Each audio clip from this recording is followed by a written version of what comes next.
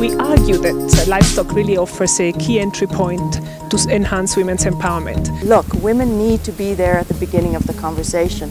I think a lot of the things with the COVID-19 in the beginning, the decisions that were made were often not including women.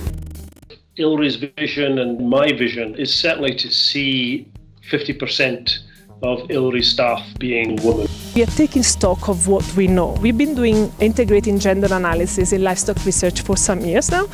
And what is important now is that we really look at what we have learned. What is it that we do not know yet and that we want to know? How do we improve the system and not just the woman?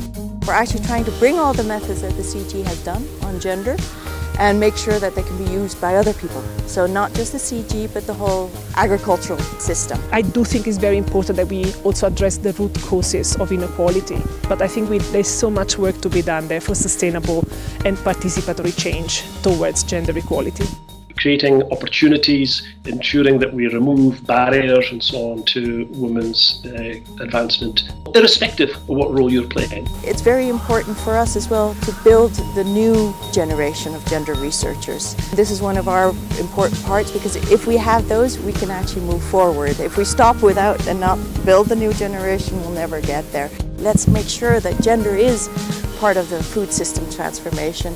And that requires leadership, that requires people with a vision. And the other part, besides leadership, I think is very important is perseverance. Perseverance, and I think every gender person will smile at that because that's the one thing we've had. We've constantly been, we've shown up, we've, we've been there. And I think that's still an important part of what we do.